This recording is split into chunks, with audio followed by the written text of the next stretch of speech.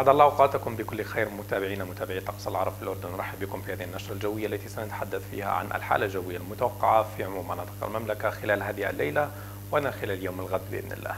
نبدأ نشرتنا بالتوقعات الجوية لهذه الليلة في العاصمة عمان حيث يسود طقس غالبا غائم مع 12 درجة مئوية فقط الملموس 11 الرطوبة نوعا ما مرتفعة حوالي 67% والرياح تكون خفيفة إلى معتدلات السرعة.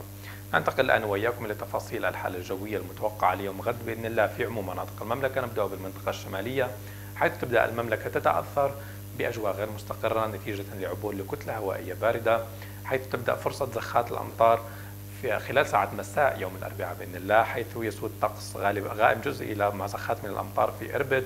نفس الشيء في عجلون جرش 21 إلى 12 أيضا مع فرصة زخات من الأمطار.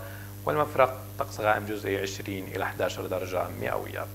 الأجواء غير المستقرة أيضا تشمل المنطقة الوسطى العاصمة عمان طقس غالبا غائم مع فرصة لزخات من الأمطار خلال ساعات مساء يوم الأربعاء.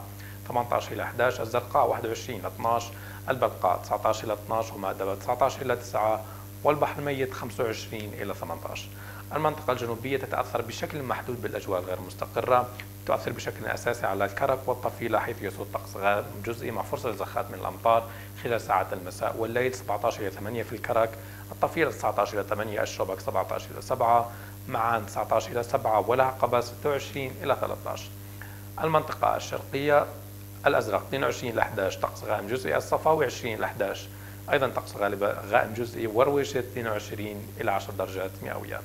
إلى أن تنتهي نشرتنا إلى اللقاء.